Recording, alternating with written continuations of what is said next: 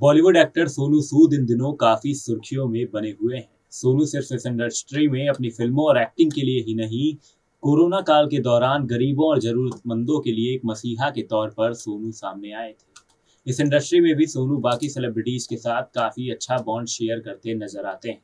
चाहे वो एक्टर हो या एक्ट्रेस सोनू सभी के साथ काफ़ी अच्छा बॉन्ड शेयर करते नज़र आते हैं। सोनू सूद अपने अच्छे कामों की वजह से अब किसी भी पहचान के मोहताज नहीं है। उनकी दरिया दिली के किस्से अब देश भर में सुनाए जाते हैं। लेकिन फिल्मी दुनिया से अभी भी सोनू सूद को छोटे मोटे रोल ही करते हुए देखा जाता है। उनका और ऐश्वर्या राय का क्या संबंध है और ऐश्वर्या उन्हें भाई क्यों बुलाती हैं, आइए आज हम आपको बताएँगे।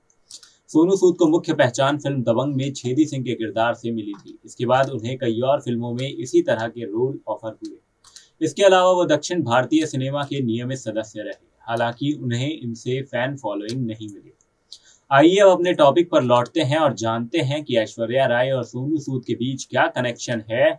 इस विषय को लेकर जब सोनू सूद से एक इंटरव्यू में बात की गई तो उन्होंने बताया, बच्चन फैमिली में उनके फेवरेट अमिताभ बच्चन है और उनके परिवार के प्रति उनका रिश्ता बहुत ही गहरा है। उन्होंने बताया कि बच्चन परिवार के सभी लोग बहुत अच्छे हैं। जब सेट पर मिलते हैं तो उनसे मिलकर बहुत अच्छा लगता है। सेट पर काम करते हुए अमिताभ सर अपने लाइन बार बार दोहराते हैं तथा अभिषेक जिसे हम सिनेमा में, फ़िल्मों में देखते हैं, वो असल ज़िंदगी में वैसे ही है। सोनू ने बताया कि फ़िल्म बुढ़ा होगा, तेरा बाप में अमिताभ बच्चन ने उनके पिता का रोल निभाया था। फ़िल्म युवा में अभिषेक उनके भाई का किरदार निभाया था। वहीं ऐश्वर्या ने फ़िल्म जोधा अकबर में सोनू सूद की बहन का किरदार निभाया। सोनू सूद ने बताया कि ऐश्वर्या राय सेट पर अपने काम को लेकर काफ़ी एक्टिव रहती हैं। सीन खत्म हो जाने के बाद वो ओपन बातचीत करती हैं।